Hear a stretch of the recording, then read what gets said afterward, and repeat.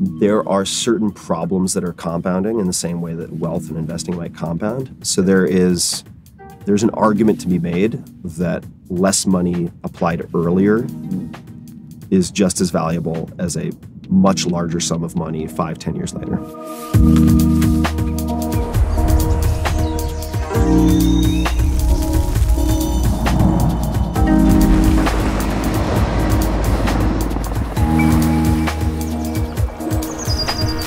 Welcome to the Regeneration Will Be Funded. My name is Matthew Monahan, and in this series, we're exploring the intersections of regenerative finance, technology, and our living planet.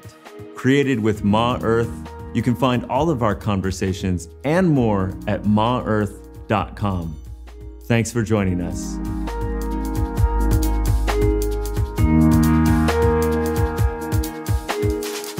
Today's guest is Tim Ferriss. Tim is the author of Four Hour Work Week, host of The Tim Ferriss Show. He's an investor and also founder of Saisei Foundation. Tim has a real gift for sharing his personal insights in a way that can help others. In this discussion, we go deep into mental health therapeutics and the recent rise of psychedelics research.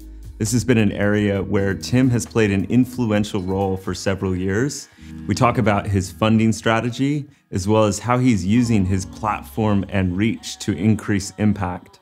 We also discuss how the psychedelic space is being shaped by for profit incentives, and Tim makes the case of why we need more philanthropic and nonprofit capital to enter into the field.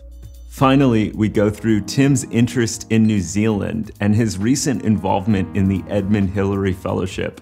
I really appreciate Tim for having this conversation. It was recorded in Los Angeles in April 2023.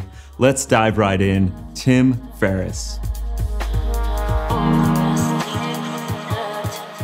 We are here today with Tim Ferriss. Tim is an author and an investor. Thanks, Tim, for being with us. Good to be here. Thanks for having uh, me. I, I, remember meeting you many, many years ago, and you came to my apartment in Palo Alto and you told me you were going to write a book. And I remember thinking, no one reads anymore. Um, books? Who reads books? Who reads books? It worked out well for you. Yeah, so far. So, so far, far, it's worked out. And then you said you were going to start a podcast, and I remember thinking that's the dumbest idea as well. Yeah, I had a lot of people tell me that ship has sailed. Podcast number one, nobody listens to them. Number two, it's too crowded. That was in 2014, wow. 2013. So, so what have you learned over those subsequent 10 years of that experience? What are some of the highlights for you looking back now? What are some of the highlights? Let's see. Starting with the book, I would say I've learned that long term planning, like five, 10 year planning professionally for me, hmm. is not a good idea. I should plan for the next, say, six to 12 months doing one thing really well, and then the doors that will open will be more interesting than anything I could have planned for or predicted. So that's one. Mm. Another is that even if you have projects fail, because you mentioned two that worked out. Mm. So the book, Four Hour Work Week, and then the podcast. There are many that did not work. So I've learned that people generally do not remember failures for very long. Mm. And if those failures allow you to develop skills and relationships that transfer to other things over time, so those accumulate, then they're not really failures. And if I had not had certain things, let's say, land at a five out of 10 instead of 10 out of 10, like the third book, The Four Hour Chef, which had a lot of challenges, very proud of it. The output was good, but the results in terms of bestseller lists and so on were not what I wanted them to be. If that had not happened, I would not have started the podcast. Interesting. And many of the relationships I developed through the course of researching and writing that book, I was able to copy and paste into the podcast. Right. So those are a few things that I've learned over time. And any tips for us aspiring podcast beginners? aspiring podcast beginner. Choose a format you can sustain if you're planning on doing it for a decent period of time. Some folks try to copy This American Life out of the gate, not taking the time to realize there's a good reason why the credits at the end last several minutes. it's a serious production. Mm. So the elephant graveyard of three episode podcasts totally. is the majority. So choosing a format you can sustain, I would say also giving yourself a graceful exit so that you don't feel like you've painted yourself into a corner. In other words, if you say season one is six episodes mm-hmm. and we're only doing season one, then anybody can do six episodes. And then you can move on to something else. If it works out, you can extend it. But if you don't have some type of hypothetical endpoint that you present publicly, mm-hmm. you may feel like you're trapped. And then if you stop it, it, it will appear like an outward or an external failure. Mm-hmm. So that'd be another. Nice. In terms of questions, if we're talking about interviews, Yeah.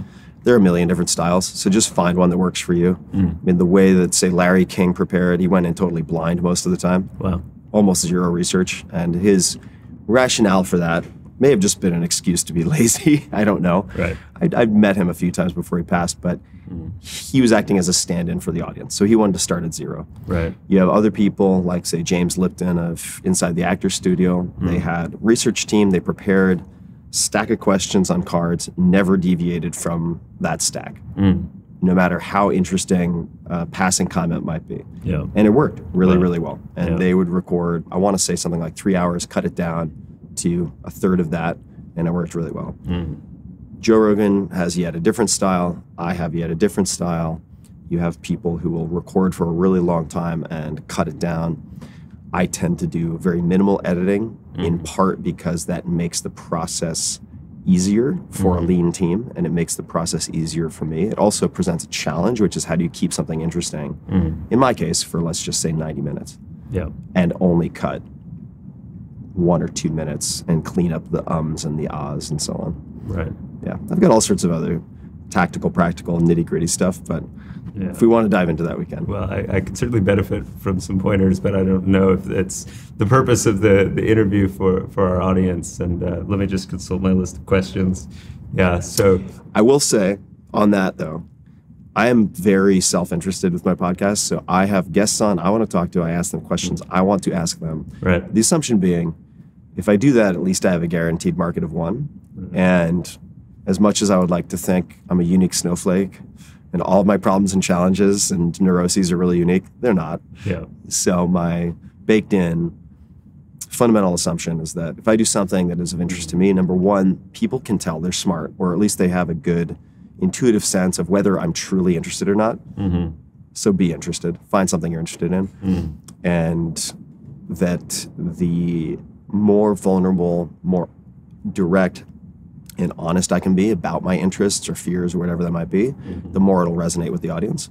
And I mm-hmm. think that generally has stood the test of time. I haven't done as many episodes as some people, but I'm coming up on 700 soon, so quite a few. Wow. It reminds me of a quote my uncle used to always say to me that that which is most personal is most universal. Mm-hmm. Mm. Totally agree. I think that's true with writing. It's how I've approached writing. It's how I've approached the podcast. And there may be many other ways to do it. There are many other ways to do it, mm. but this is the way that works for me that I know how to Yeah. work with. So so, so you said that, you know over 700 conversations. Wow, congratulations, by Thanks. the way. And and just for anyone who's not you know as familiar with your work, you know the books, the podcast, the reach. I mean, it, it's staggering now the, the number Yeah. of downloads, the number of people who've tuned into the books, the, the New York Times bestseller accolades. Like, can you brag about the the results just for a moment to contextualize? Yes. So I started writing the first book around, I want to say 2005. This was the four hour work week. That was based on notes from lectures that I had given in entrepreneurship over a handful of years and also my own entrepreneurial experience just to set it up so people hopefully have some grit to walk through some flames if need mm-hmm. be. Mm-hmm. The book was, first of all, something I didn't want to do but a friend of mine just started introducing me to editors and agents and i felt social pressure to have conversations. Ended up with a brand new agent mm. who had previously been a very good editor steve hanselman and the editing piece the fact that he could write was important to me and he already had the relationships with many people in publishing so we were both getting started in new respective areas at the same time. And he did a fantastic job. But the book was turned down by 27, 28, 29 publishers. It was a it was a Wow. it was a long string of no, sometimes very uh, rude no's, and then finally sold the book. And I think the advance, which was paid out over like a year and a half, was 75 grand. Initial print run was 10,000 copies. For people who don't know, that is very small. Mm-hmm. Very, very small. That means if you sold every single copy that was ever published in your opening week or two, you would not hit generally the New York Times mm-hmm. bestseller list. It's just not enough copies. Right. However, book came out April 2007. It hit the extended New York Times list, which meant that it didn't hit the print, but it was number 13, I think. Mm-hmm. And then it just stuck there and it rose, it rose, it rose, and it remained on the bestseller list for at least four years unbroken and may have gone longer. And then that bought me permission to write more books. Mm-hmm. The pressure was to do the three hour work week, the two hour work week, the four hour work week for single moms, the four hour work week for you know, the you name it, right? Dyslex, dyslexic convict or whatever, like just to like roll out everything modeled on the four hour work week. Yeah. I did not do that because I knew I could always come back to that. Mm. I wanted to take this rare window to try a different category to see if my audience would follow me as opposed to the subject matter. And that led to the four hour body, which was all physical performance. I came out 2010. That also hit number one New York Times. And then I wanted to try something new yet again. So I signed with Amazon Publishing when they just launched. Actually, I signed with them before they launched, and then my book was their first large acquisition. uh, the Four Hour Chef, as a result, ended up getting boycotted by everybody. Wow. No one, no big box retailer would carry it. In effect, Wow. which is part of what made the launch so hard. Yeah. And that book came out 2012. And a little insight for folks the New York Times bestseller list is actually more of an editor's choice list. It is not a pure reflection of sales numbers from, say, Nielsen Yeah, Bookscan. right? People Wow. don't really realize that. Wall Street Journal bestseller list, at least last I checked, is more of a tabulated list, which means it's an it's a it's a more direct reflection of Mm. measurable sales numbers. Mm-hmm. But the week that my book came out, Four Hour Chef, it hit f- number four New York Times, number one Wall Street Journal by miles, but number four New York Times, and the book that hit second place, which I won't name, uh, just to add some numbers, the number two slot sold something around twelve thousand copies, twelve to fourteen thousand copies on Nielsen Bookscan, and I got number four, and I sold around one hundred twenty thousand. Wow. So just keep that in mind. There is uh, there is some black, black magic Yeah. editorial Yeah. stuff that goes on behind the scenes. So that's outside of your control. About a year, let's see here, two years later, so 2014, I started the podcast, and I'll just wrap that up real quick. So that podcast is now getting close to a billion downloads. And next April, it will be this is crazy to think about, but 10 years of publishing 1.4 episodes on average every week Nice. and uh, that is average, right? So it hasn't been exactly that number over time. And in the beginning, especially, there were weeks that I skipped, and many weeks that I skipped. Mm. But the podcast has been you know, best of Apple many times. It's been number one in not just a category like business, but also overall many times. Much more crowded space Yeah. now Yeah. but still still pulls good numbers have a lot of interesting guests and uh, the other parallel track right so i'm talking about the i hate this word but let's just call it content over time the parallel track was in 2008 because of the exposure of the four hour work week because of the focus on efficiency and process hmm. because of my location in silicon valley the early adopters were almost all all in tech in some capacity, hmm. the very early adopters. Also because I'd spoken at South by Southwest the month prior to launch. Right. So the the 1,000 true fans, to hmm. quote Kevin Kelly in the beginning, were all techies.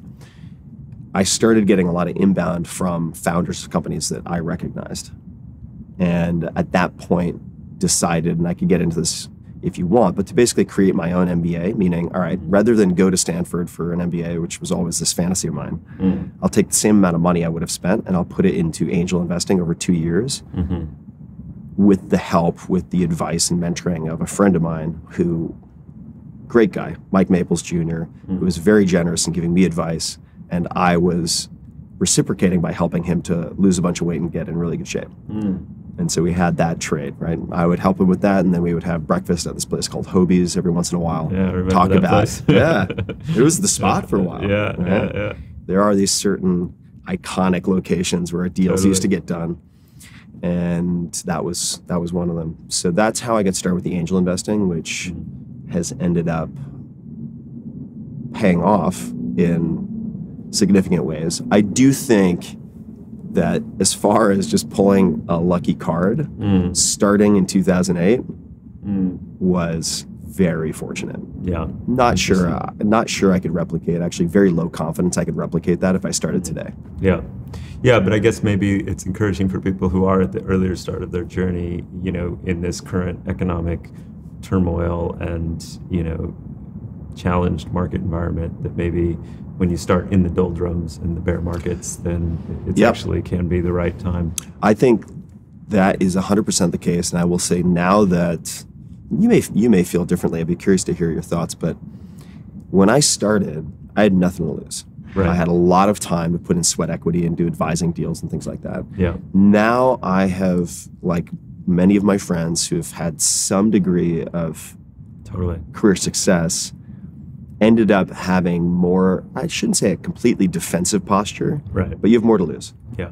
And to make those early bets matter, you have to write bigger checks. Mm. And you end up, at least in my case, having more expensive mistakes. Mm. And therefore, I do think, and this is true for, let's say, a tiny startup, Mhm. ChatGPT versus, say, Google. I mean, it's a similar dynamic. Like what you have in the beginning is limited downside. Right. In the case of a tech startup, almost uncapped upside. And you can move really quickly. Right. and you can survive on ramen and put in lots of hours. And I do think the fact that I started in what people were calling the dot com depression at the time Mm. was fantastic. The valuations and so on are different these days, although that could get crunched down. We'll see. But I think there are tremendous opportunities during recessions. Also for talent acquisition, if you're building a company, Yeah. huge opportunities.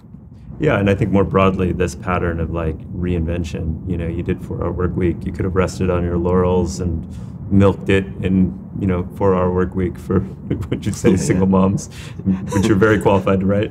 Um, but you know, you you reinvented into a different category, Yeah. and you know, having witnessed your journey mostly from a distance over this last decade, it does seem like you are not afraid to try something new, put yourself out there. And obviously, tech investing is a bit of a departure away from the podcast, away from the book. Now you've also made a name for yourself in the philanthropic space. You know, you're talking a lot more about mental health issues. Um, it, it- you know, you're kind of continuing that reinvention. And I'm curious, you know, before we talk about those things, like that meta pattern of yeah, how do you stay hungry and put yourself into that kind of position where it's almost like nothing to lose, even though you feel a bit more defensive and, Totally. and you've, you've built a base? The meta pattern is is really important. I, I spent a lot of time thinking about it. It's important to me, at least. And I would say, so I'd like to contrast my pattern with, mm-hmm. say, a similar pattern with different motivations in entertainment. So in the world of entertainment, and millions and tens of millions and hundreds of millions of people now are consciously or subconsciously becoming entertainers, trying Right. to become influencers and so on. So this is relevant to them probably. There is the drive to reinvent to remain relevant. Hmm. That relevance depends on external validation, and that is a risky game to play. There are people who can play it well and still maintain some semblance of stability and mental health. I think it's very hard. Mm-hmm. What I'm doing is number one, optimizing for learning curve. Mm-hmm. And there is a point where things just flatten out a bit. Mm-hmm. And you can dress that in different ways. So, say in the podcast, I experiment with lots of different formats. I do oh, not have right. one set format. I've experimented with probably dozens of different formats under the umbrella of the Tim Ferriss Show, and that has allowed me to keep learning. And I'll be experimenting with more formats mm. soon, where I'll be moderating panel discussions, and that is a new challenge that I'm excited to tackle. Yeah, yeah. I think I think Jason Calacanis is probably one of the best mm. currently. He's very good at it, which takes a lot of prep. So I'm excited to test my skills or develop my skills in doing that. And that can transfer, or that can be across different platforms, across different sectors of endeavor, like you mentioned, the philanthropic space. Mm-hmm. So, getting to understand how you interact with universities, what the terms of engagement are, what the mm-hmm. contracts look like, mm-hmm. what the path from, say, publicly funded or university to commercialized looks like. Not because I'm directly involved, but I need to understand that. That's exciting, the learning. The second big driver for me with the, let's call it reinvention, or I would say more kind of meta experimentation, mm-hmm. is identity diversification. Right. So you might think, and we, we may or may not talk about this, but in the world of investing, like most people who get really, really rich have very heavily concentrated bets, Right. right? Right. It's like the Stanley Druckenmiller. I always appreciated that quote. Put all of your eggs in one basket and then watch that basket very carefully. Yeah, yeah. So Stan's Stan's a Stan's a world beater. I mean, he's he's a different animal, and when you look at at least in my periphery, mm. the people I know who have built a lot of wealth, they do it with concentrated positions. But once they get to escape velocity and they say, okay, I seem to have solved most of my money problems. Now the game is don't lose your money. Right. They diversify for safety. Right. And I think there is a similar approach you can take with identity diversification, especially if you have mental health challenges, which hmm. I have a history of in terms of congenital or genetically related depression and so on. This is this is very obvious in my family. Having all of your eggs in one identity is very risky. So if I'm the four hour work week guy, and for whatever reason people get tired of that, and I don't have the ability to switch horses, that's risky. If I'm only focusing on work, the reason I take athletics so seriously is not because I want to be a professional athlete, but it's because if, let's just say, the economy implodes, Russia invades Ukraine, something happens that suddenly affects work, and you're not able to perform up to your own standard. If that's all you have, your self worth can take a nosedive and you can go into a tailspin. I, Yeah. Am speaking for myself personally, but I know Sure. I'm not unique here. But if I'm also doing jujitsu or acro yoga or deadlifting, and in the same week, like my deadlift went up 10 pounds, Mhm. I can say, great, I'm going to call that a win. And so that's on a micro, say, weekly basis with activities, but that also can be copy and pasted into larger projects. Investing. Mm-hmm. And once I have two tracks, I can let go of one and not feel lost. Right. So that's that's another driver. The last I would say is whenever I sense myself getting too complacent or precious about whatever I feel like I need to protect, Mm. Then this may sound too aggressive, but I, I kind of try to blow it up in a way Totally. because I think taking yourself too seriously and your work too seriously, this is actually a quote, like taking your work too seriously is the imminent side of an impending nervous breakdown. I think it was Bertrand Russell actually. nice. And if you want to get the serious stuff done, you mm. can't be too serious all the time, or you just won't have the endurance. You'll burn out. Mm-hmm. So I do also try to blow things up and try new things as a way to protect against getting too cloistered and contracted. Mm. So those are the drivers on the meta pattern. Got it. Nice. Okay, so you you wrote a book, you started a podcast. They both obviously had had an incredible journey and, and continue to and scale and reach. Uh, brought you into relationship with investor uh, with tech startup CEOs. You started investing. You have a strong you know business mind, invest in mind, and I guess what for the last few years now. Tell me a bit about the philanthropic side of your your journey. Sure. The philanthropic side goes way back on a smaller scale.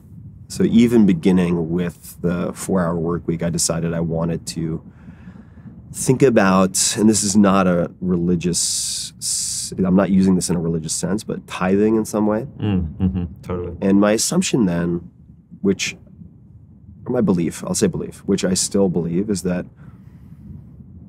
there are certain problems that are compounding in the same way that wealth and investing might compound. So Yep. there is there's an argument to be made that less money applied earlier Mm.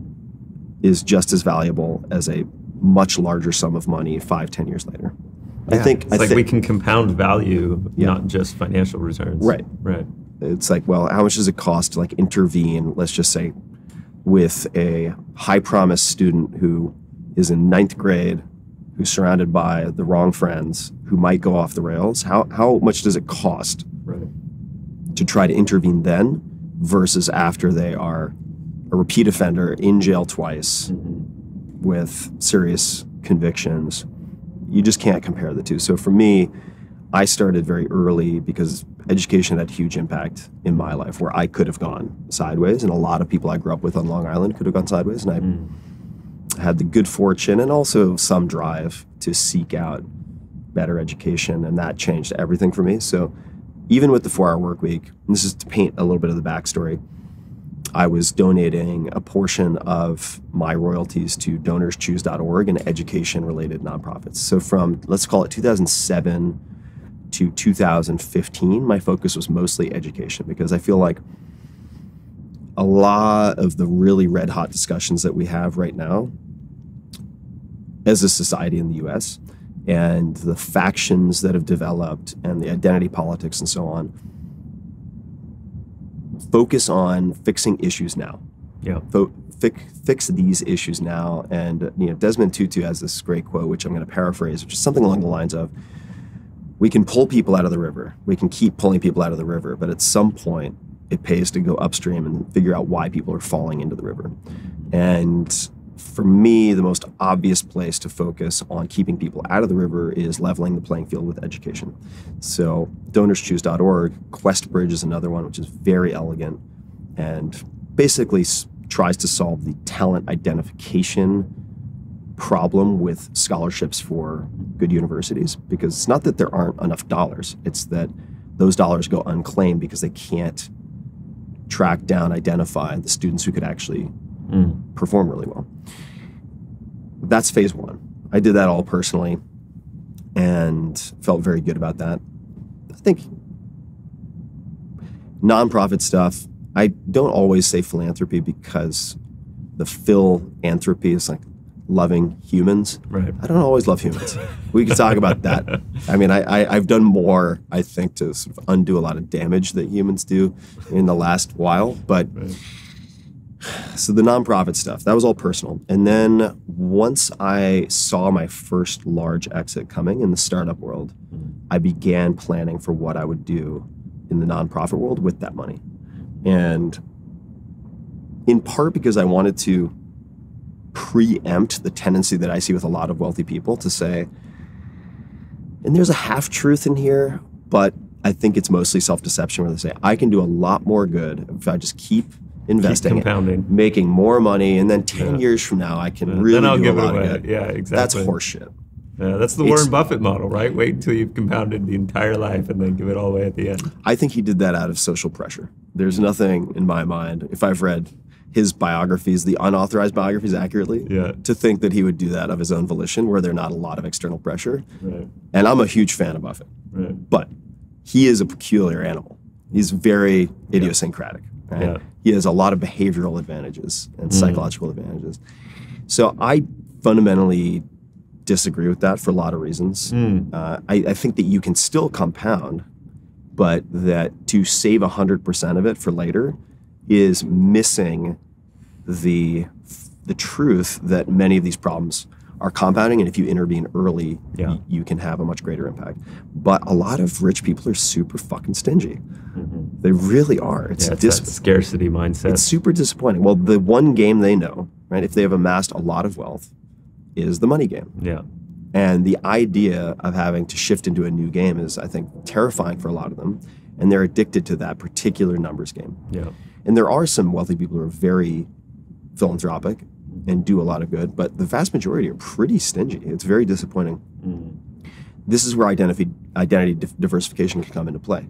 If that's not if that is not my sole game, I feel more comfortable doing more, say in the nonprofit space. So, coming back to the timeline, in let's call it 2015, uh, I begin looking at mental health therapeutics and basic science related to specifically psychedelic compounds, which are Schedule One in the U.S., which makes them very difficult to work with, legally speaking, Yeah. even in a research capacity.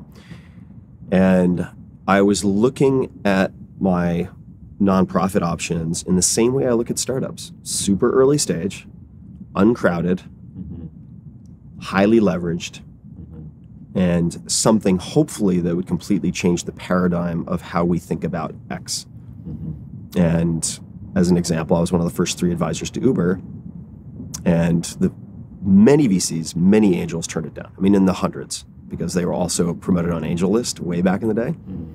And the vast majority of folks looked at it and they said, well, this is ridiculous because the market for black car services is this big. Optimistically, maybe they get 10% of that, and 10% isn't that big. Yeah. And it's only ever going to be used by super rich tech bros. Decline. Mm-hmm. There's so many assumptions embedded in that. And ultimately, ride sharing in general obliterated those assumptions. And I think that for mental health, psychedelic assisted therapy and some of those compounds strongly stress test many of the paradigms that currently undergird all of mental health mm. and psychiatry. Mm. So that's very exciting. So in 2015, this is actually before my my sort of Just to linger on that point, Yeah. sorry to interrupt, but like my friends in the nonprofit world, you know, some of them would hate me saying this, but I do think that there's just such an underappreciated value to some of these more capitalistic, you know, oriented investment lenses in the philanthropic space. Exactly what you're talking about, which is like, you know, you're, you're looking for transformational opportunities. You know, you're, you're thinking about the competitive landscape where things are crowded, where things aren't. Um, you're looking at an early stage. You're trying to identify talent. Like, I mean, so many of these lenses have been practiced and refined in investing. Yep. And whereas a lot of foundations and the talent inside of the NGO complex isn't necessarily as practiced in this. Now, it's not to say that social problems, environmental problems are exactly the same as just building a business. And there's a whole bunch of other stuff that I see people who come out of the business world assume when they go into the nonprofit landscape that is actually problematic. Yeah. Um, but yeah, are there any other observations you've had in terms of bridging these two worlds and like what maybe in particular people in the nonprofit space can learn from people that are coming more from the investing lens? I would say study early stage tech investing. Read some books, hmm. right? Whether that's Zero Gravity or, say, The Power Law, I think is the name of the most recent book by Sebastian Mallaby, hmm. who wrote a great book on the hedge fund world called, called More Money Than God, which is also a great book. Study that. Take a look at it because the one of the huge benefits of the for-profit space is you have pass fail. Yeah, It's not very squishy at the end of the day right. You either got to return or you didn't. If you got to return, what's your multiple? What's your IRR, right? What are these return measurements? Mm-hmm. Period. End of story.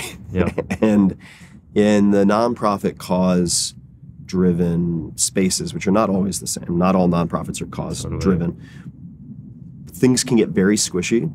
And there are, in some cases, people who end up there because they cannot cut it in the faster paced, more binary black or white failure success for profit world. There are, though, some very good people in the nonprofit spaces. And it's hard on paper to figure out who those people are. So, for instance, when I started making personal investments, this preceded the formation of the foundation, but I was sort of setting the groundwork. I, I suspected there was more money that was coming into my life, and I wanted a plan for doing some good with it, not just feeling good. Yeah. I think there's a place for feel good stuff, and I do some of it. Feeling good is important, but doing good is not necessarily the same, and it can be a long term bet.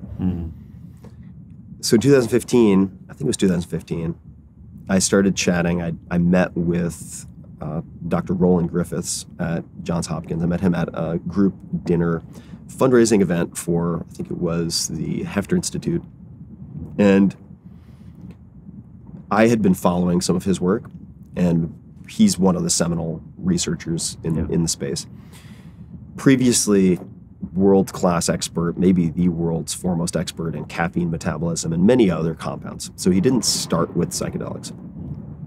And I decided to provide him with some seed funding. Hmm.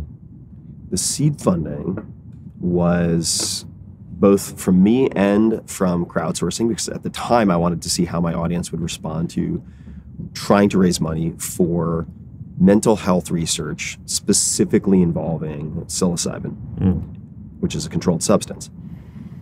And at that time, it was not clear what the feedback would be, what the blowback would be, if any. Now the tide has turned mm. and things are different. But at the time, I wasn't sure what the reputational fallout would what be. What year was this? 2015, 2016. Very, very risky to talk yeah. about psilocybin and try to raise money for yeah, to talk about a it. reputable university. Yeah, wow. to, to, talk about it at that yeah. point, and to be and I was very public, and saw effectively no blowback.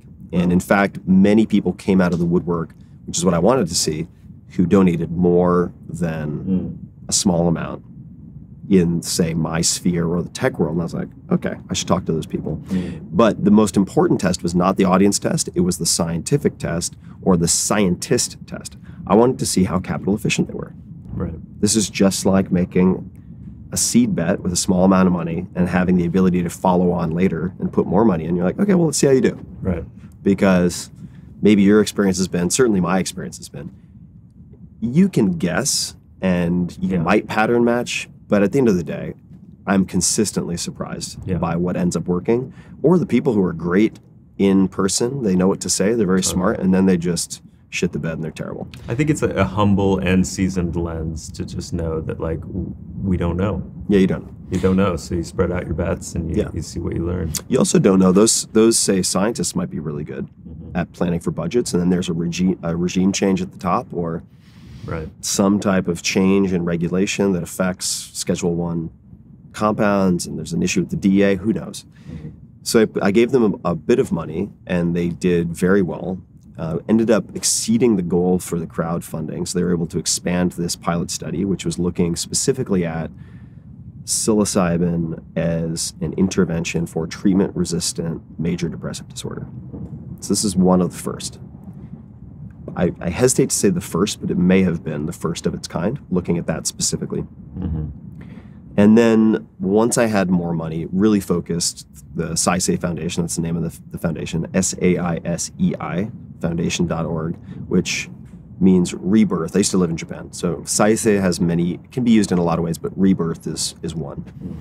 Saisei Foundation really has focused most of its energies on pilot studies, first of their kind experiments that could be modeled and copied elsewhere if successful, or scaled in very interesting ways. So, developing, say, curricula that can be plugged into these psychiatry programs at Yale, NYU, and Johns Hopkins. Mm. So, sticking something into the flow of people who are being trained already mm. who could then become accredited in some fashion. Nice. And experiments with journalism fellowships with UC Berkeley, Michael Pollan, let's say, for people who want to focus on psychedelics as their extensive beat or their exclusive beat, I should say. Mm. But then all the science. So, Imperial College London, the first dedicated psychedelic research center in the world, was a founding funder there, and then also Johns Hopkins in the US. And not just funding these things, because a lot of people can fund things. I do think my filters are maybe more effective than a lot. I know what to look for for something that could be the Archimedes lever to make a huge difference but I'm also looking for something that I can amplify with my platforms. Right. In a way that brings more foundations and funders into the space. And uh, there have been a handful of high level goals in this space for me since day one, including opening up more federal funding, which is very challenging at the moment for a host of reasons, mm-hmm. and insurance reimbursement, and a number of other things to help drive costs down. So, for instance, one of my early, early personal, I think it was through my personal funding and not the foundation, was looking at long term demoralization in AIDS patients. This was at mm-hmm. UCSF. I think it was Josh Woolley and Brian Anderson. And what made that interesting, this was using psilocybin as well, was not just the patient population, although that is of interest. It was the fact that they were considering using group therapy and integration, which I I would have the hypothesis would not only drive costs down but also improve outcomes for mm. many different populations. Sure. Not all, but many. So, the Saisei Foundation has been one of my primary focal points Nice. from, let's call it 2015, 16 in the nascent stages, and then really started going gung ho once more cash came in a year or two later up until today. And if people want to see projects, I mean, there are some cool projects.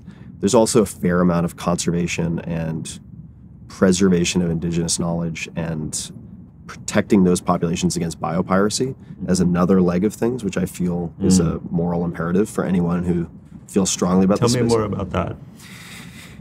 Most of these, most of these compounds, if not all, certainly before we started synthesizing novel psychedelics, the basis for all of that came from certain plants, predominantly plants, which were used by various indigenous populations and fungi also. So let's say fungi, Mazatecs, psilocybin. Even though psilocybe mushrooms grow all over the place, it was really brought to the public attention through Maria Sabina and Gordon Wasson and so on, very, very early days. And uh, if we look at ayahuasca, of course, I shouldn't say of course, but South America, and you have dozens, at least dozens of tribes who've used this for millennia, potentially. Uh, and I think they are, in a sense, we, I'm careful with this word owed, but I do think, in a sense, they're owed a debt of gratitude that should be addressed, mm-hmm. in part because those cultures are being eroded, languages are being lost, the botanical knowledge is being lost. Mm-hmm. And that's true for just about anything else we could talk about mescaline and so on. So I've had some involvement with good groups like the Indigenous Peyote Conservation Initiative, mm-hmm. which operates in South Texas. They may operate elsewhere now. And also uh, the Amazon Conservation Team, ACT, which is really capital effective, really capital efficient, and they uh, are very good at measuring with meaningful metrics. And they've just executed so well over time that I've uh, helped to fund projects through them for, say, preserving the first women led medicinal garden for preservation of botanical knowledge in the upper West Amazon, as an example. And uh, they do some really fascinating work. They use technology. You, should, you, would, you would like a lot of what they do. Uh, Mark Plotkin and his wife Liliana are the co founders. He's an ethnobotanist who was trained at Harvard under Richard Evan Schultes. Very smart. Liliana is also incredibly effective as an operator and fluent Spanish speaker, native Spanish speaker. And they've had involvement with, I want to say, expanding or establishing Chiribiquete in Colombia, which is massive. Uh, so the scale of their accomplishments is, is large, but establishing something legally to be protected is one thing. Ensuring it is protected is a separate issue. Uh, How do you actually monitor and prevent illegal logging and mining? That's right. The law is not enough yeah. you need enforcement, you need tracking, and for that they help to use, say, ra- everything from Raspberry Pi to drones and other types of technological monitoring to train these people to be able to run systems themselves. And they've also done things, for instance, like capturing the botanical knowledge of elders and having them interface with the younger generations, but capturing them in writing only in their tribal language mm-hmm. not in English, not in Spanish, to protect against biopiracy. So to define terms, biopiracy for people who don't know, people go down to the Amazon, they're like, let's talk to all these folks about what works for A, B, and C indications. They take these plants back, thank you very much. They analyze it, they develop a blockbuster drug that generates billions of dollars in revenue. And the people who ran the trial and error over hundreds or thousands of years to figure this out Right. get no financial benefit. And who also didn't participate in a lot of the economic development of the land because Totally. they were protecting it and stewarding it. Mhm. Um, and now, you know, yeah, this this kind of behavior comes right in with this extractive mindset. Like it's Yeah. like we're entitled to it and we're going to just corporatize it. And Yeah, yeah, Totally. And there's, I think humans are extractive in general. Uh, I'm not sure we can fix that. I don't think we can. I think you can do things to countervail it, but human nature, man, what a thing. You, you know, no matter what pretty technology you layer on top, Like we are still monkeys on a spinning rock, making all sorts of trouble. So I think you have to factor for that. Like any any plan that assumes you're going to subvert or change human nature, I think is going to have some major hiccups right. along the way. Well, that's why I, I come back uh, to can we rewire the economic incentive systems yeah. so that we're not drawing out these parts of ourselves that benefit from yeah. being greedy or extractive. That's the that's the question, right? To to to imp, to invoke the name of of Buffett's other half, right? Charlie Munger talks about incentives. He's like, incentives, just watch the incentives. Show me the incentive, I'll show, show me the outcome. Exactly. Show me the incentives, I'll show the outcome. It's, it's very straightforward. It's it's not as lofty or ethereal or flattering as many people would like it to be, but I think it's intensely pragmatic. So that's the right question, right? How do you create new incentives? And which is is why I admire your thinking, and I, it gives me a degree of hope that you're applying your horsepower to that question. Mm. I haven't figured it all out, but certainly, even in the, in the realm of, say, psychedelic science or early stage, you have to think about incentives. Right. Whether that's looking at how something is structured and being able to foresee imminent co-founder problems mm. because of the incentives or the, the cap table or right. how things have been set up. Right employee retention because of vesting schedules and this, that, and the other thing. Right. I know that might be word salad for a lot of folks, but that can translate over at least the thinking of totally. incentives. What are the incentives? Can then lead to the question, which is, for instance, why isn't there more federal funding for psychedelics? Right. And just getting to understand what the incentives are, mm. really trying to trying to check yourself mm-hmm. before you label incentives good or bad. Right. And just say, okay, look, people end up in different environments where different games are played. The rules are different, the incentives are different. Don't assume these are bad people because there are incentives that don't align with yours. Try to figure out how you can either modify them or integrate them in some way mm. so that you can get the outcome that you're looking for.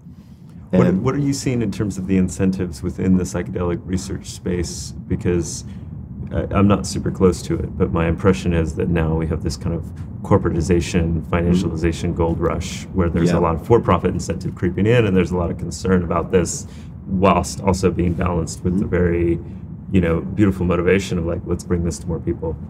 First of all, good use of whilst. I love that word. Second, I'll paint a picture of what it looks like.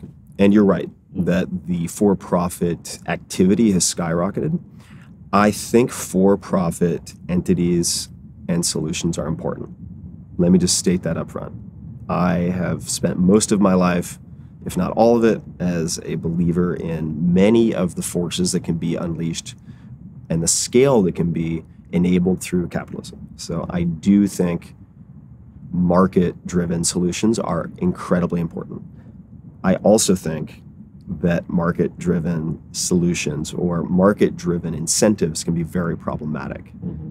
in certain ways, which we can talk about. So I'll bookmark, say, the issue with intellectual property and patents, mm-hmm. especially when we're looking at derivatives of compounds that have existed for millions of years totally. and been used by humans for millennia we get into some very murky territory, which would not be relevant to, say, the invention of the compound bow with cams and so on. That is a novel, non obvious innovation. Therefore, there are other check boxes. It deserves a patent, it should be protected. Mm.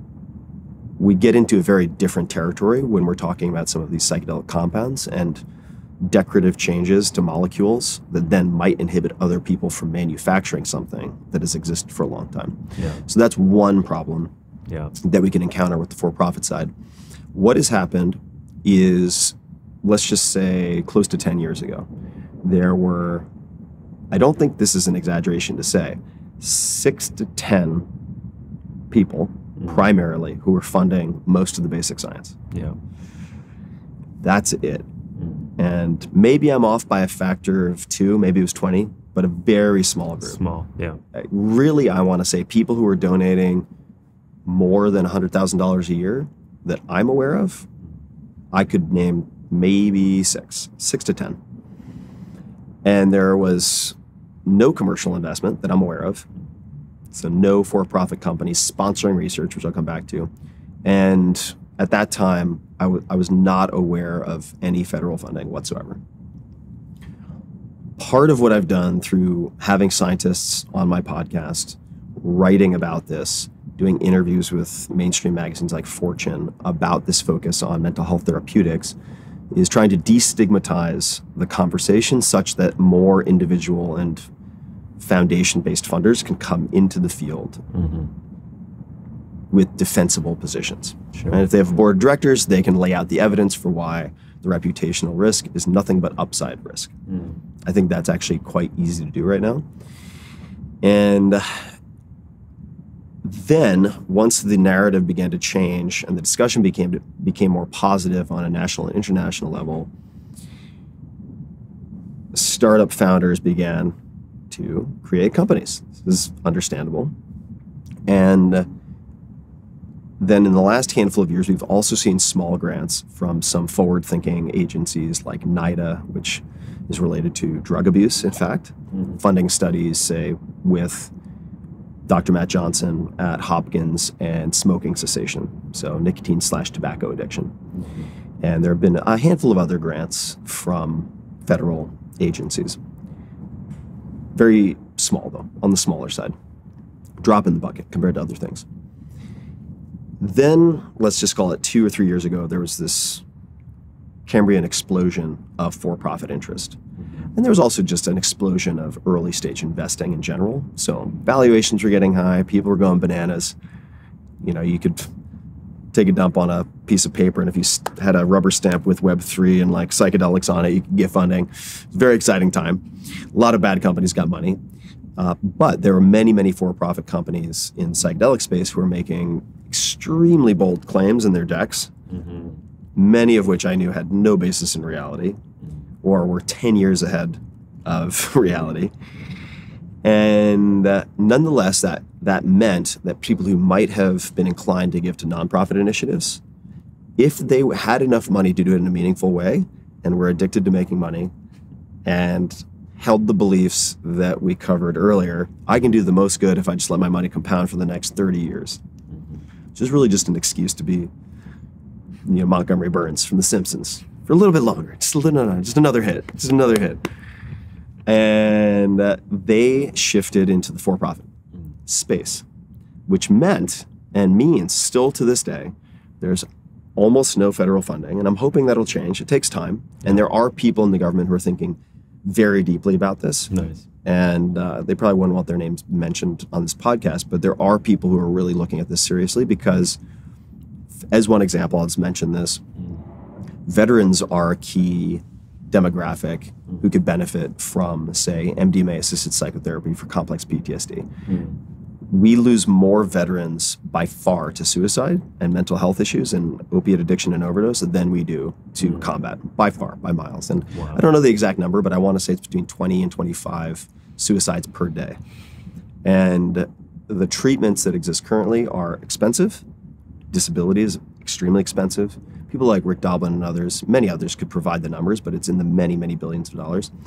And uh, the outcomes so far, which have gone through phase three trials, which I helped raise money for, are incredibly compelling. And that's bipartisan. They have a political immunity bracelet. Uh, for that reason, they are the tip of the spear in a sense, and people in government and people in the VA are taking it very seriously. Yeah. That's very exciting, but it takes a long time. In the meanwhile, now instead of six to 10 people, you've got maybe 15 people who are funding a lot of the basic science, which is a prerequisite for everything that comes. Mm. And uh, some of the smaller pilot studies that might be controversial or less likely to succeed, they're speculative, but still important Mm. for a very small amount of money.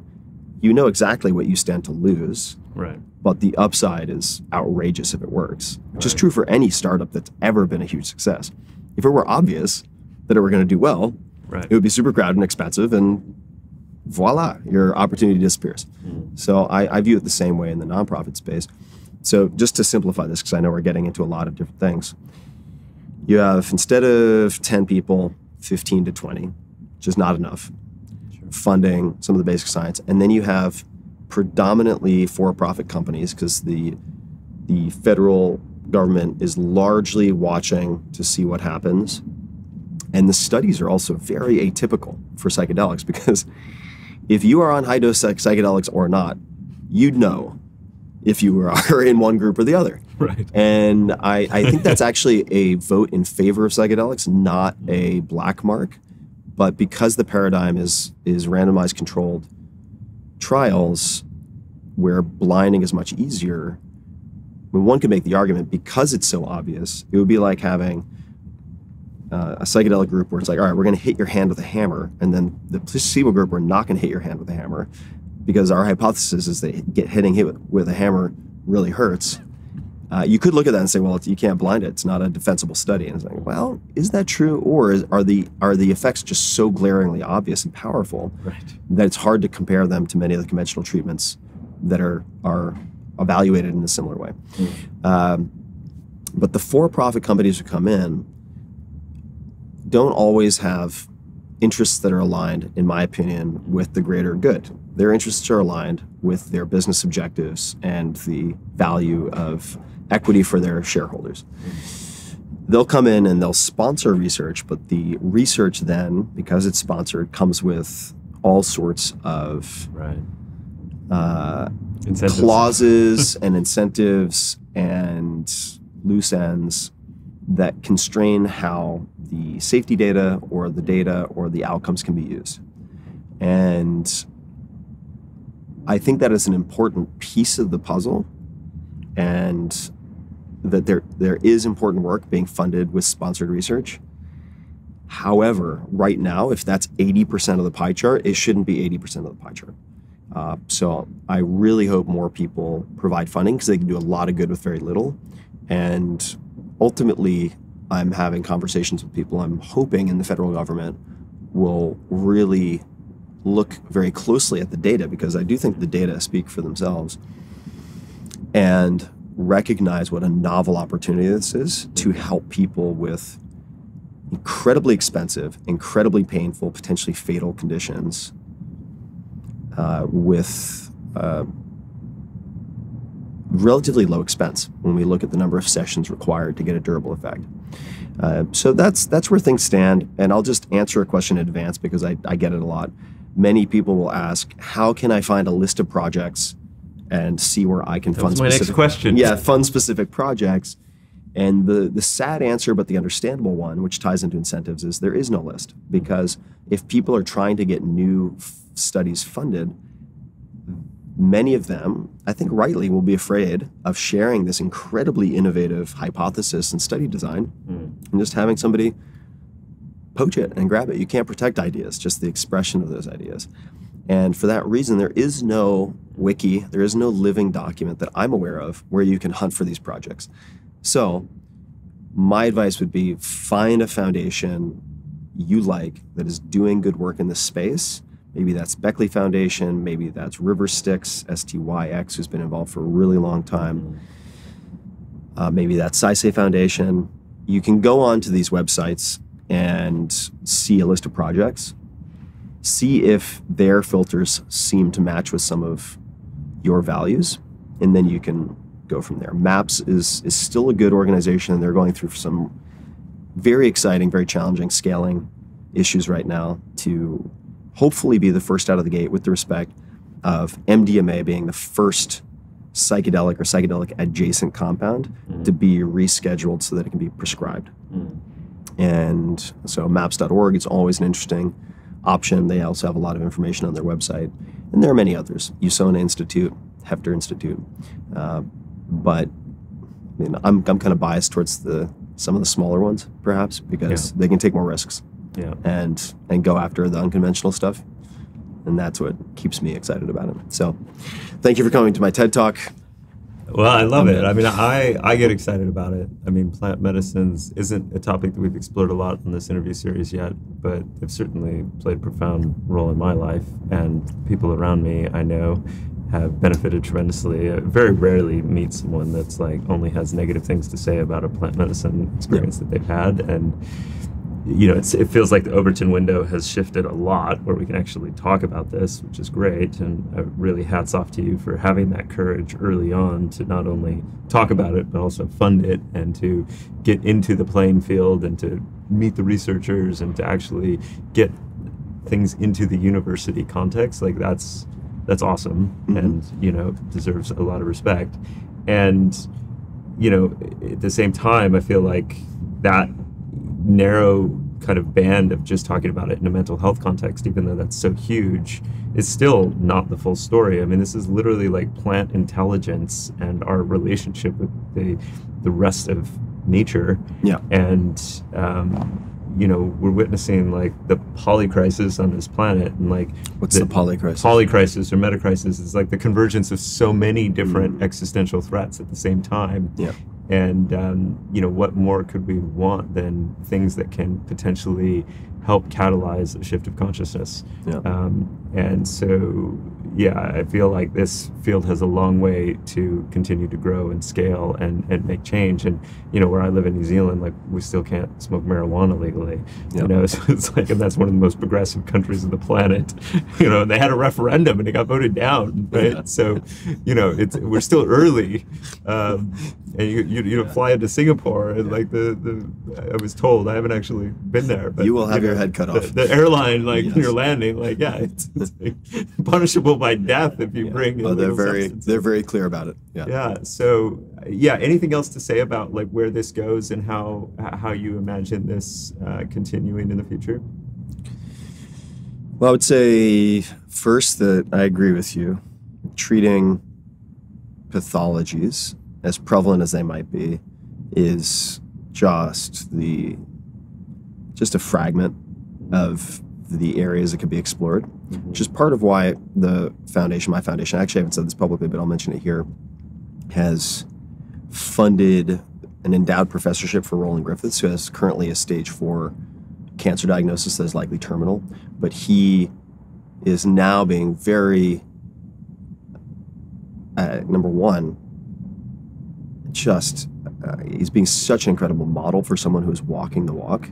In facing mortality with wow joy and equanimity. It's remarkable. There's a great New York Times piece about Roland, and I interviewed him also, and we spoke about this. But he's now establishing a professorship for secular spirituality, which we can leave alone as a label. But broadly, what that means is the funds that go into that professorship will be funding studies that almost have no chance in hell of getting funded by most, as certainly government agencies or for profit companies that are going to attempt to examine some of the questions that I think are questions of consciousness, questions, questions of mind.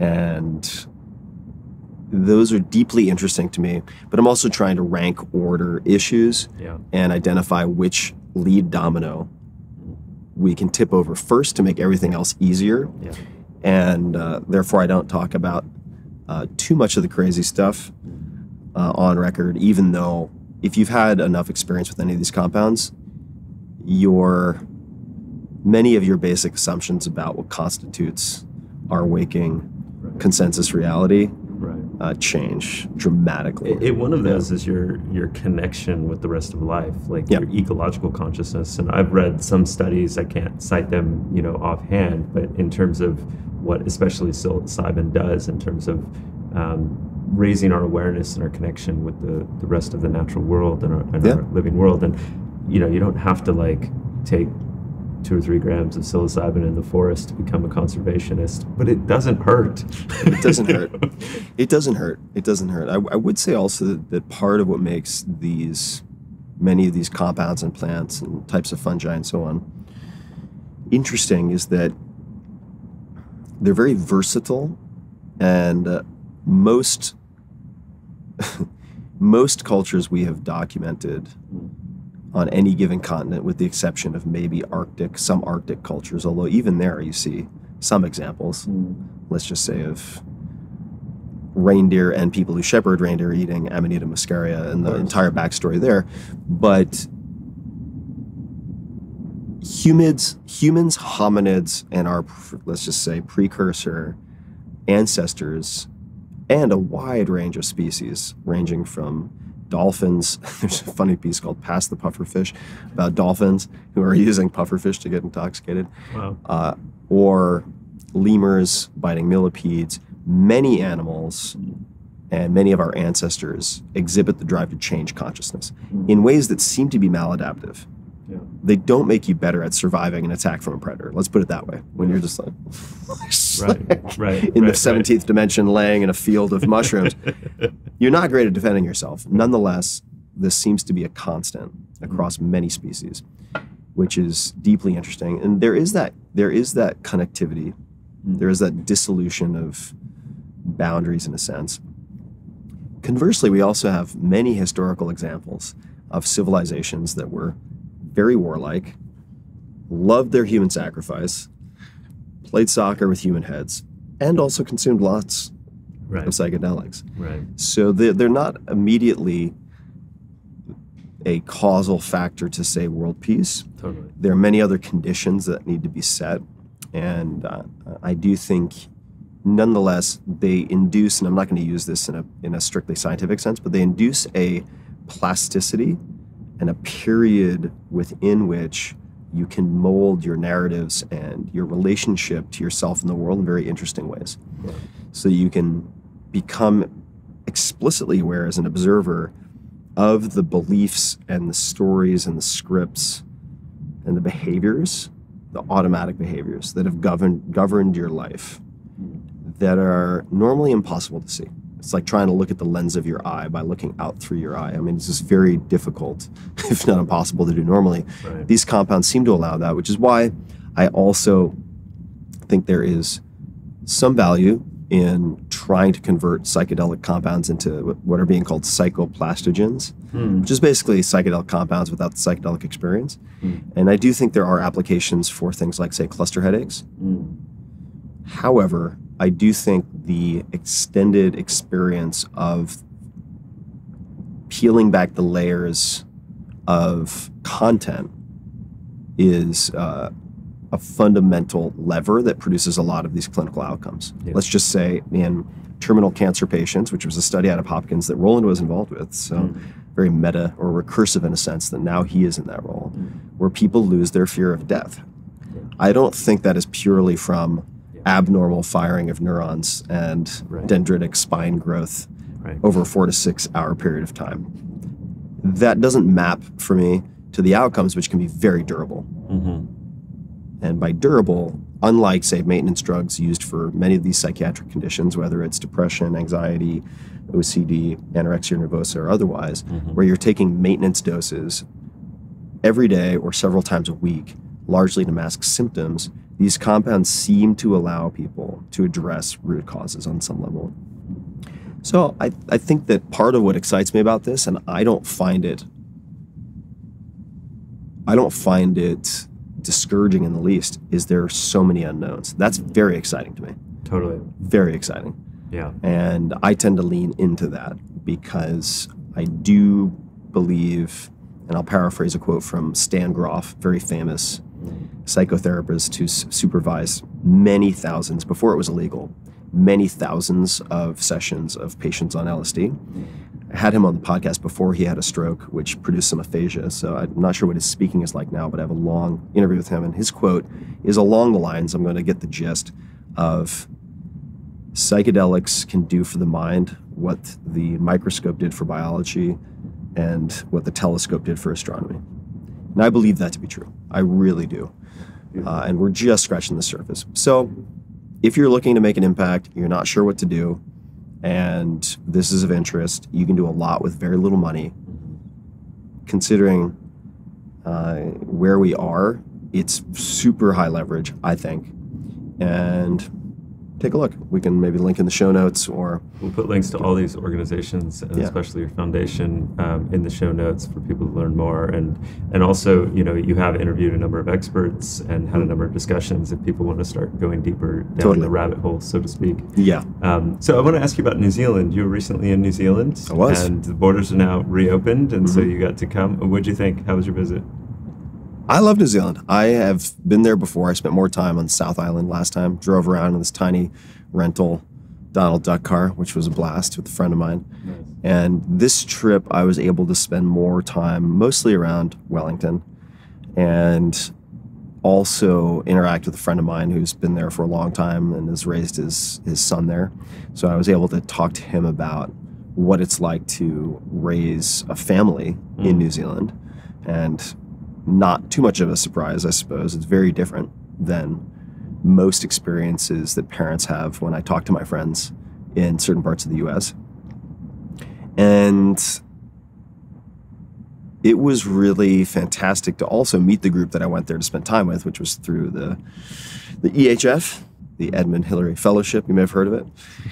may have had something to do with it. And it was a cohort, really a blended cohort of about 100 people who had come in from all over the world to be part of this program, the intent of which, among others, you could probably explain this better You're than doing I can. A great job. Thank you, thank you. uh, is to establish initiatives in New Zealand, Aotearoa, that can have not only an impact in New Zealand, but to establish New Zealand as a base for global impact.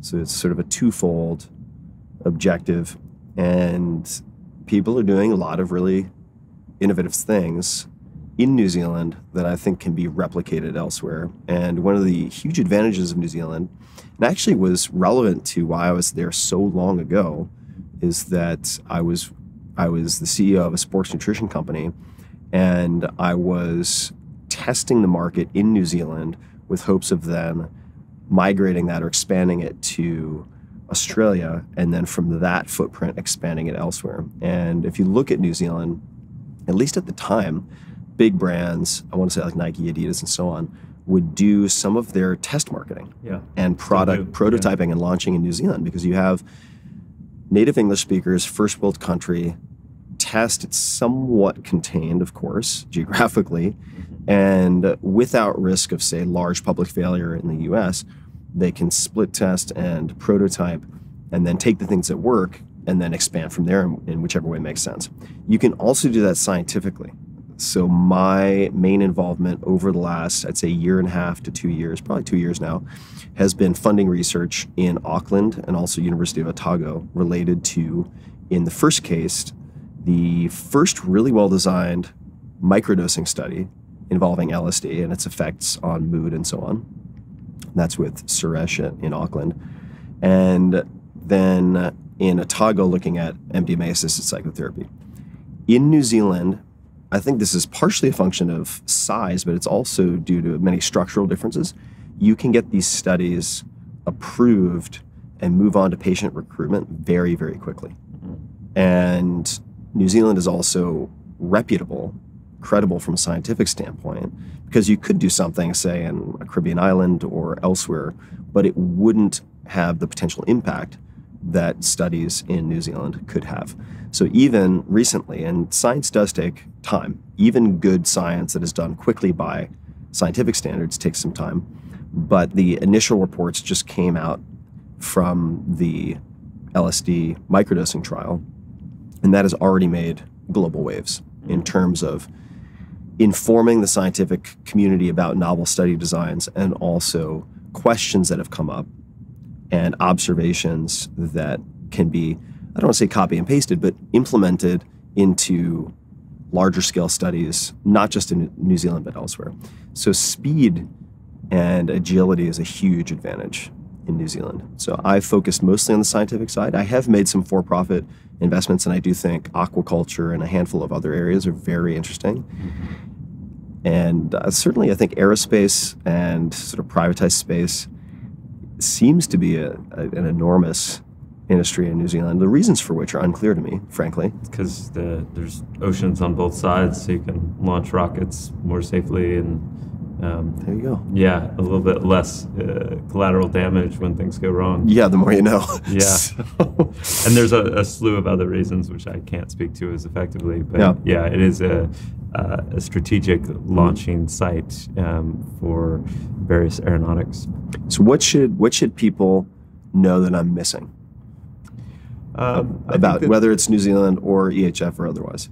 Well, I think as it relates to New Zealand, like the, the bicultural nature of the country is very unique, Mhm. um, where you have this, uh, you know, treaty between indigenous Maori and Pakeha settler, colonial settlers in the 1800s that really forms the basis of governance and treaty partnership of the country. But I think it's a, because Maori culture has a much more uh, prominent and visible influence in Mhm. mainstream culture much higher portion of the population than say Native Americans here in, in the United States, um, that it actually shows what indigenous language revival and cultural revival looks like in a Western colonial context.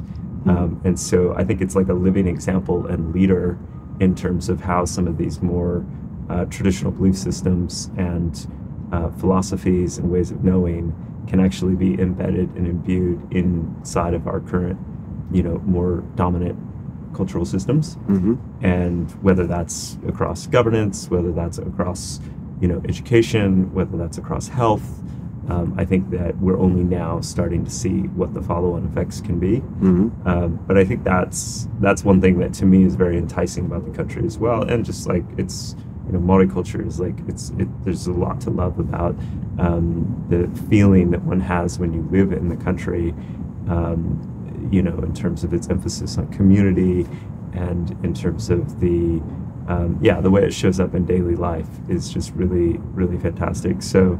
I think that's a, a unique aspect of New Zealand. I probably didn't have as much appreciation going in.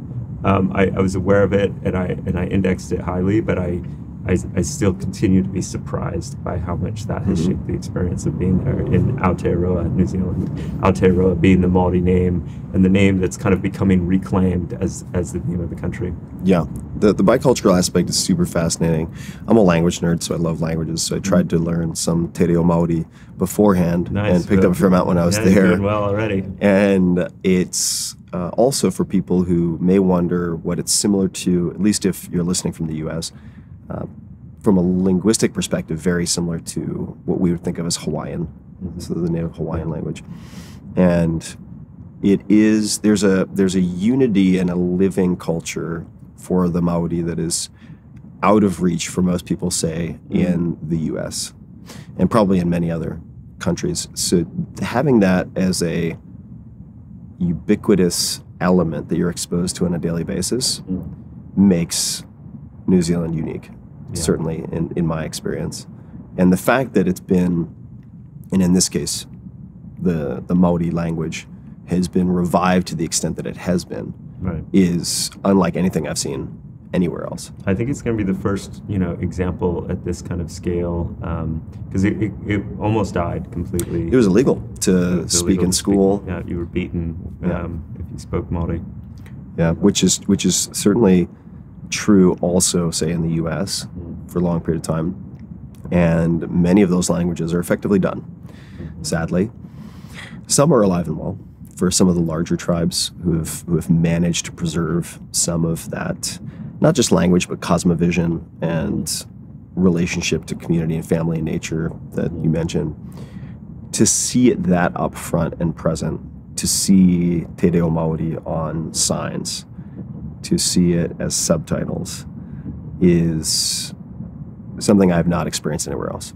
Yeah, and it can be, you know, trivialized or appropriated in, you know, ways that aren't necessarily as healthy. But I think it reinforces, and since you're a linguistics nerd, like the the idea that language can be such a gateway into other ways of knowing and culture Yeah. and being, and that to me is is really fascinating because, you know, the the the indigenous culture of of Aotearoa then becomes this living conversation where it's not like you take a class and then you're like okay yeah i got my understanding of genocide and colonization and now i'm done you know it's like well it's actually you know a gateway into a way of learning and knowing and being and understanding history and culture Mhm. that's always contextually relevant. I remember when I when I first arrived and we were there with our friends Shannon and Sean and their kids, and we all sang "Happy Birthday" for someone, and then um, one of their children started singing it in the Te Reo Maori version Mm. um, because they were learning it at school and Yeah. it was just natural to them, whatever. We were like, wow, it was just like this very powerful moment of seeing how,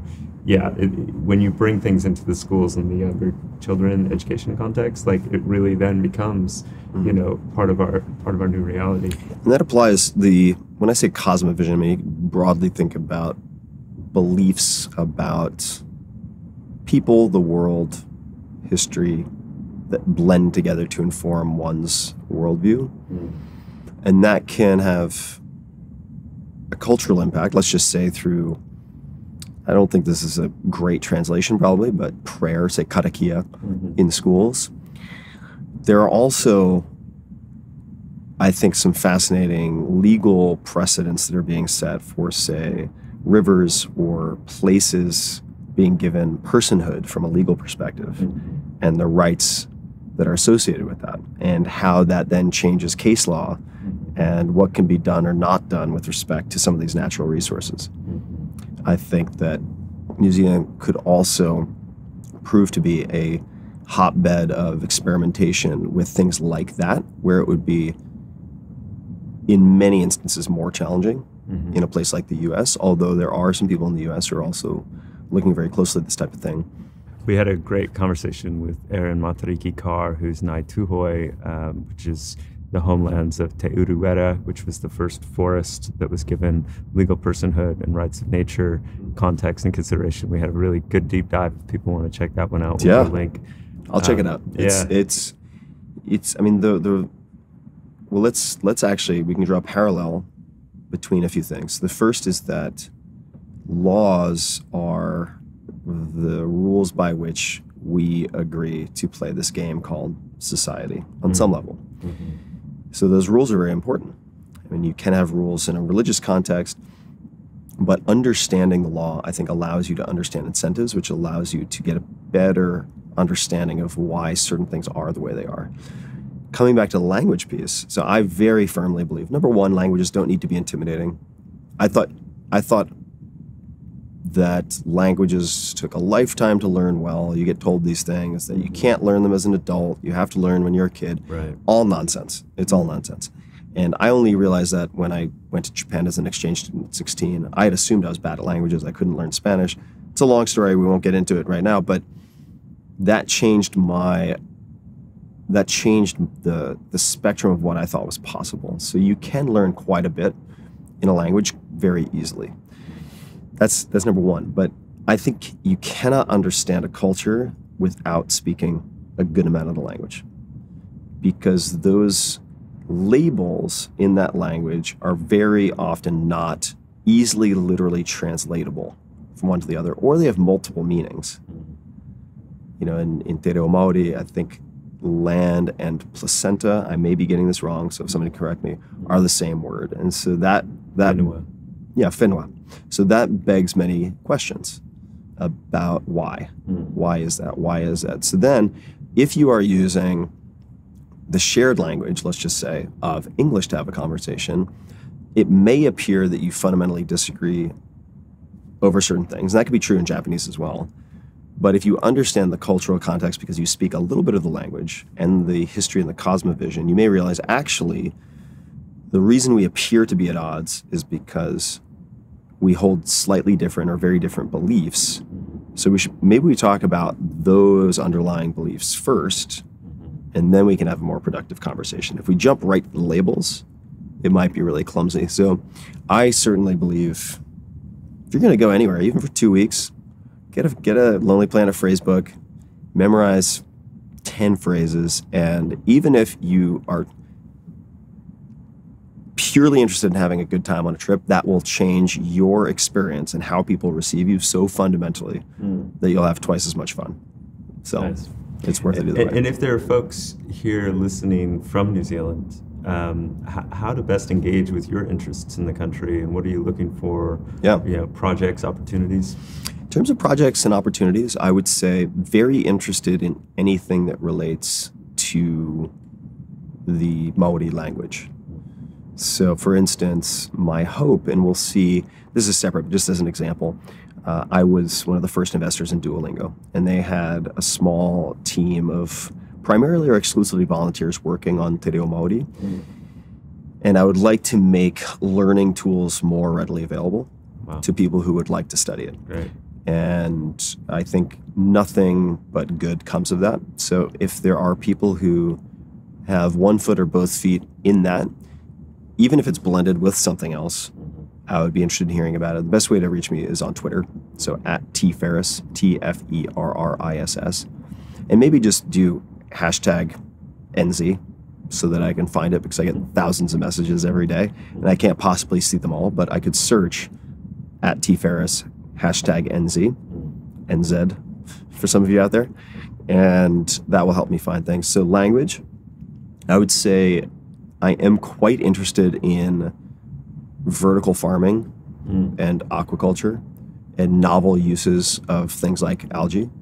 Very interested in that. So, that would be another one. And I would say those are right now for me kind of the top two that are of interest. Mental health, mental health therapeutics, which is not just psychedelics in disguise. It does not need to be purely psychedelics. And I have also funded things through Saisei Foundation that are not psychedelic specific because ultimately I view them as a very underutilized, poorly understood, but powerful tool in the toolkit. They are not the only tool. Right. So I'm interested in other things as well. So, for instance, if there were people in New Zealand doing anything interesting with TMS, which is a type of brain stimulation, or TDCS, as applied to things like depression, chronic anxiety, I would be very interested if they're doing credible work at a university, not in a garage after watching YouTube videos, which you see a lot of in the US. I'm just saying, don't do that at home, kids. You can actually damage your brain. So, you don't DIY that. I would be super interested in in hearing about that. Any novel approaches to mental health, because I do feel like we are in the very beginning stages of the type of exponential curve that you don't want to see, which is an exponential curve in the volume of people experiencing severe mental health issues. A lot of which I think is exacerbated by technology and the tools that are being designed and the incentives of companies and the basis for how they design their algorithms and so on, Right. right. which come down to economic models Right. at the end of the day. Right. So I, I do feel that as much as people are feeling year on year uh, an increasing sense, personally or as a spectator of culture, that mental health is worsening, that problems are becoming more severe and more widespread. I unfortunately think certainly that coupled with addiction, which I think is a good proxy for pain, untreated pain, is going to really arc pretty strongly. So we need good tools. We need new tools because many of the conventional current treatments are either ineffective or have a lot of side effects or don't scale particularly well and or all three. So certainly if anyone's interested or involved with, I should say, if they have a prototype of something that they are experimenting with in the mental health realm in New Zealand, at T Ferriss, two R's and two S's, easy to forget, hashtag NZ. Nice. Nice. Are there other themes or topics that we didn't talk about that you'd like to uh, to cover, or any other messages before we close out? In terms of messages, I would just say it's very easy to assume that you are uniquely flawed and that is why you feel the way you feel. It's very easy to have anxiety or depression and to look around, and because that's not immediately obvious on people's faces, to assume that everyone else is having a great time or at least a neutral time. Hmm.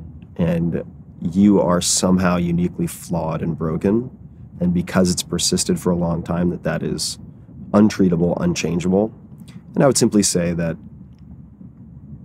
there are genetic components for a lot of these things but there also are quite a few levers you can pull to bend the arc a bit.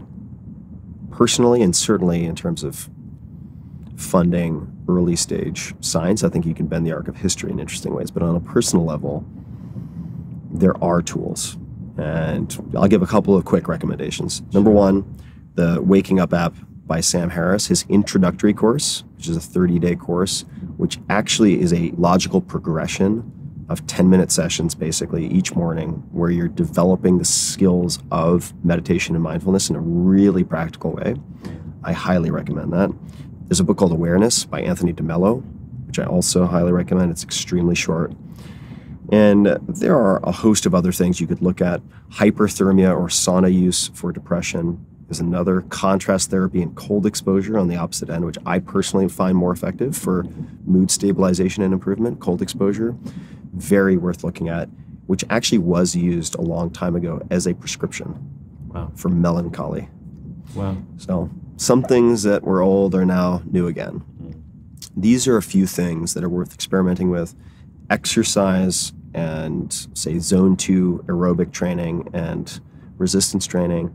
There are books written on this if you want to understand why they have such significant effects on not just mental health, but also sta- potentially staving off diseases like Alzheimer's. There's a book called Spark that is somewhat dated, but talks about this and the release of brain derived neurotrophic factor, BDNF, and many other things. You don't need to read the book necessarily to experiment with some of these tools, which have very limited downside. So I would just say if I had not found some of these levers and begun to experiment with them in a systematic way, I don't think I would even be here today having this conversation. So you can change a lot about your day to day lived experience. I think that begins with physical self care and developing an awareness of your thoughts and emotions so you are not consumed by them. I would say those are the two prongs that I would probably start with. But you're not alone. There are a lot of people in a lot of pain. They don't show it obviously externally, but don't use that. Don't see that and assume that you are some uniquely broken toy that cannot be fixed. In my experience, there's almost always something you can do. Mm. Tim Ferriss, thanks for being with us. My pleasure, man. Thanks for having me. All right, what'd you think? Tim is obviously very knowledgeable about the psychedelics research space. You can learn more on his podcast and also by going to saiseifoundation.org. That's S A I S E I foundation.org. There's a link in the show notes. For more conversations, check out maearth.com. Please like, share, subscribe. We'd love to hear from you. And I'm curious, should we cover psychedelics more in the future? Thanks for tuning in, and I'll see you next time.